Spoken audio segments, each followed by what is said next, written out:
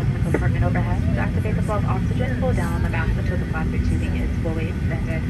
Place the mask over your nose and mouth to breathe normally. Secure the mask with the elastic strap. Although oxygen will be flowing to plastic bag when not in place, continue wearing the mask until otherwise notified by a crew member. If you are traveling with children or anyone needs special assistance, put on your mask first.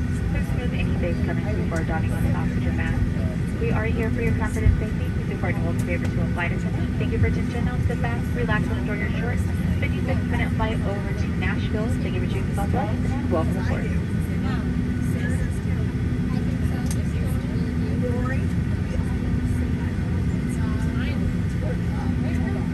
Also, folks, we are going to make you look better and turn the lights off. If you need any additional reading light or anything of the nature, touch the button above you that looks like a light bulb. It's gray.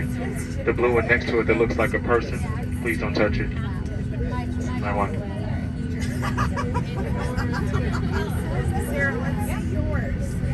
Put your foot up. Uh,